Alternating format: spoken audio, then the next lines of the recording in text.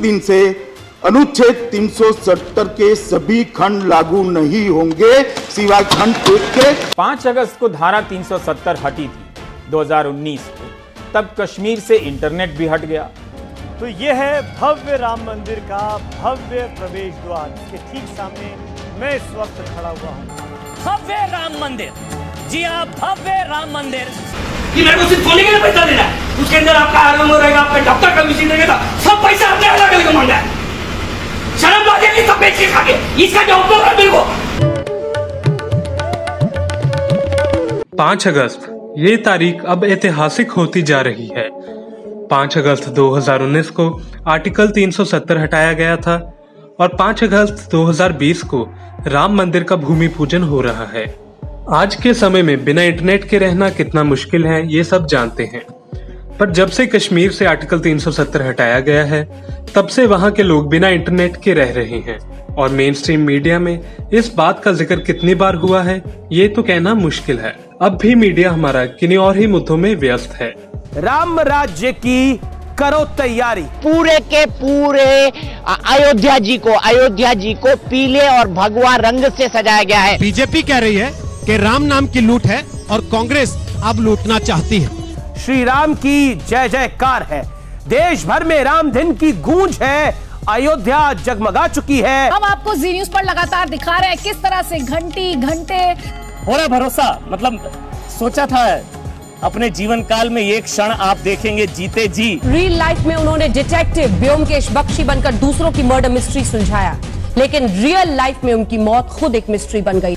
उद्धव ठाकरे उसकी हत्या हुई। उद्धव ठाकरे मेरे सवालों में भागने वाली उद्धव सरकार ने आज चुप्पी तोड़ी है। अगर कश्मीर की बात करें तो 5 अगस्त 2019 को अमित शाह ने संसद में आर्टिकल 370 हटाने का ऐलान किया था। संविधान के अनुच्छेद 303 सत्तर तीन के अंतर्गत भारत के संविधान के अनुच्छेद 370 के खंड एक के साथ पठित अनुच्छेद 370 के खंड तीन द्वारा प्रदत्त शक्तियों का प्रयोग करते हुए राष्ट्रपति संसद की सिफारिश पर यह घोषणा करते हैं कि यह दिनांक जिस दिन भारत के राष्ट्रपति द्वारा इस घोषणा पर हस्ताक्षर किए जाएँगे और इस सरकारी, इसको, इसे सरकारी गैजेट में प्रकाशित किया जाएगा, उस दिन से अनुच्छेद 370 के सभी खंड लागू नहीं होंगे। सिवाय खंड एक के नामक अनुसार पढ़ा जाएगा। उसके बाद से कितनी बार बीजेपी नेता कश्मीर दौरे पर गए ये तो कहना मुश्किल है। पर जब भी विपक्षी नेता कश्मीर जाना चाहते थे तो उन्हें रोका गया। अगर हालात सामान्य हैं तो महबूबा मुफ्ती जो चीफ मिनिस्टर रही है वो बंद क्यों है? फिर सैकड़ों और जो लीडर्स हैं स्टेट के जो लेजिस्लेचर से रहे हैं मिनिस्टर से रहे हैं वो नज़रबंद क्यों है? हालात सामान्य हैं तो हमको जो मैं अभी ये मेंबर पार्लियामेंट भी हूँ स्टेट का चीफ एक्स चीफ मिनिस्टर होने के साथ साथ मुझे अपने घर क्यों नहीं जाने देते? हम तो कोरोना के चलते कई दिन लॉकडाउन में रहे पर कश्मीर जब से आर्टिकल 370 हटाया गया है तब से ही लॉकडाउन में है। ये सब मीडिया में कोई मुद्दा नहीं है। कश्मीर के लोग बिना इंटरनेट के ही जीवन व्यतीत करने पर मजबूर हैं। इस मुद्दे पर अधिक जानकारी एनडीटीवी के वरिष्ठ पत्रकार रवीश कुमार ने अपने शो प्राइम टाइम में दी। पाँच अगस्त को धारा 370 हटी थी। 2019 को, तब कश्मीर से इंटरनेट भी हट गया। धारा 370 के हटने के पाँच दिनों बाद, यानी 10 अगस्त 2019 को पत्रकार अनुराधा भसीन, सुप्रीम कोर्ट चली गई कि सरकार ने इंटरनेट बैन किया है। क्यों बैन किया है, इसे जनता को नहीं बताया है। जनवरी के आदेश में सुप्रीम कोर्ट ने इंटरनेट के बैन को मौलिक अधिकार से जोड़ा था। बाद के आदेशों में यह कसौटी गौण होती चली जाती इस दौरान 80 लाख की आबादी ने बगैर पूरी स्पीड के इंटरनेट के कैसे अपना जीवन जिया, इसकी बारीक डिटेल आपको नहीं मिलेगी। महामारी के दौर में इंटरनेट के कितने गुण गाए जा रहे हैं। कश्मीर में इंटरनेट आतंक का ही ज़रिया बताया जा रहा है और बैन किया जा रहा है। नोटबंदी के ज़रिए आतंकवाद खत्म होने का दावा किया गया था वैसे। जम्मू कश्मीर के पूर्व राज्यपाल सत्यपाल मलिक ने पचास हज़ार नौकरियों कश्मीर के लोगों को देने की बात कही थी। हमारे सारे अफसरान ने सी साहब ने पूरे जो गवर्नमेंट का सिस्टम है उसमें एक्सरसाइज करके ढूंढा, हमारे पास पचास हज़ार गवर्नमेंट जॉब्स हैं। वो हम भरेंगे, उसकी हम घोषणा करते हैं। नौजवानों से कहेंगे कि वो उसमें बढ़ चढ़ के हिस्सा लें। शिरकत करें, पचास हज़ार नौकरियाँ हम आने वाले दो तीन महीने में यहाँ के नौजवानों को दे देंगे और ये वैकेंसीज भर देंगे। लार्जेस्ट सिंगल रिक्रूटमेंट ड्राइव है ये इस स्टेट की लाइफ में। कभी इतना नहीं हुआ है कि पचास हज़ार लोग एक साथ भर्ती हुए हों। सेंटर काम कर रहा है इस बात पे कि कहाँ कहाँ फौज की भर्ती हो, कहाँ सीआरपीएफ की हो, कहाँ बीएसएफ की हो, कहाँ लद्दाख स्काउट की हो, वो अलग से है। उसमें लाखों लोग उसमें आएँगे, लेकिन ये पचास हज़ार हमारी जो सरकार है, उसमें भर्ती होंगे। पर कुछ रिपोर्ट्स की माने तो कश्मीर में अस्सी हज़ार से ज़्यादा पद खाली पड़े हैं और इन्हें भरने पर अभी कोई चर्चा नहीं हो रही है। इसके अलावा जम्मू कश्मीर के पत्रकारों पर यूएपीए भी लगाया जा रहा है लगातार। जिन पत्रकारों को पुलिट्सर प्राइज मिला, वह भी जम्मू कश्मीर के ही थे। इसके बाद मेन स्ट्रीम मीडिया में उन विजेता पत्रकारों की काफ़ी आलोचना भी हुई थी। कश्मीर के बड़े नेता हाउस अरेस्ट में हैं। हाल ही में सैफुद्दीन सॉल्स का मुद्दा सुर्खियों में रहा था। सरकार की दलील थी कि उन्हें हाउस अरेस्ट में नहीं रखा गया पर सैफुद्दीन सॉल्स को पत्रकारों से बात करने से रोका गया। आपको आपको बाहर जाना अलाउड है? नहीं सुप्रीम कोर्ट के सामने गवर्नमेंट ने कहा आई एम फ्री पर्सन लेकिन यहाँ ये लोग नहीं मानते हैं। ये कहते हैं ऊपर से ऑर्डर है। अब मैं उसका क्या कर? सकता ये आप देखते हैं शहरी आज़ादी को क्या हो गया। आई एम गो वैसे I am decided to go to the court और whatever it is worth supreme court के सामने झूठ बोला जाता है। इसको आप तो हाईलाइट कर ही सकते हैं। कि सुप्रीम कोर्ट के सामने इस गवर्नमेंट ने उस गवर्नमेंट ने कहा पहले आप जाओ, आप जाओ, बाहर- बाहर जाओ,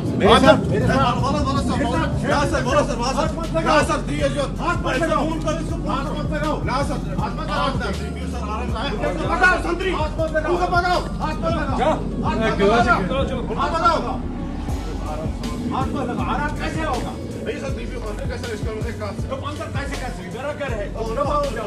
अगर वह आज़ाद हैं तो उन्हें रोका क्यों गया? पर मीडिया में ये भी मुद्दा नहीं है। शायद ना ही कभी हो। रफेल के भारत आने से पहले हमें रफेल न्यूज़ स्टूडियो में देखने को मिला था। इस बार आप मंदिर बनने से पहले ही देख सकते हैं कि मंदिर कैसा दिखेगा।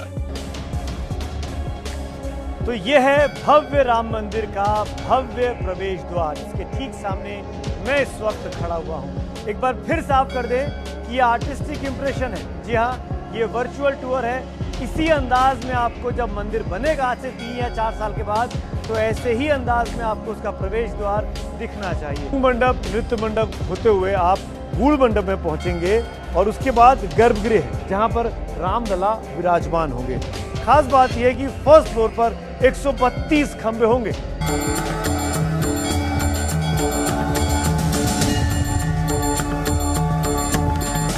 नमस्कार, शाम के छह बज रहे हैं और आप देख रहे हैं लगातार बड़ी कवरेज और ये देखिए, भव्य राम मंदिर। जी हाँ भव्य राम मंदिर। ये जी न्यूज़ का राम मंदिर है। अभी इंतज़ार है राम भक्तों को। वो लोग जो अयोध्या नहीं जा पा रहे हैं, वो जी न्यूज़ देखकर प्रभु श्री राम के दर्शन जो है, वो कर सकते हैं। Uh, the entry exit points and of course uh, the various areas of operation and movement of the temple staff. This is a 10 feet uh, wide pathway that you would see where devotees can come in and go out and also do the uh, rounds around the prangan or the courtyard area which will have smaller temples to other deities and those who are devoted to ramlala and that will be also of significance. This is how it's going to look eventually three and a half years from now absolutely grand right in the heart of Ayodhya, Ramlala Virajman. जब भी ऐसा कोई मुद्दा सुर्खियों में होता है तो न्यूज़ रूम उन्हीं मुद्दों में बदल दिया जाता है। चंद्रयान हो या सर्जिकल स्ट्राइक या फिर रफेल पर जो असल मुद्दे हैं जैसे कि बेरोजगारी क्या आपने कभी न्यूज़ रूम को इस मुद्दे पर बदलते देखा है? भारत में कोरोना के केसेस 19 लाख के पार जा चुके हैं। रोज के अब कुल मामले पचास हज़ार के पार हो चुके हैं।